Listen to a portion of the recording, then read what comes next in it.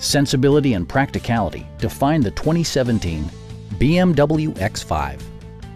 It features an automatic transmission, rear-wheel drive, and a 3-liter six-cylinder engine. A turbocharger further enhances performance while also preserving fuel economy. BMW prioritized handling and performance with features such as adjustable headrests in all seating positions, a trip computer, automatic dimming door mirrors, heated seats, and power seats.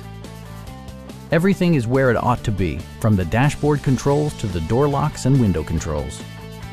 With high-intensity discharge headlights illuminating your path, you'll always appreciate maximum visibility.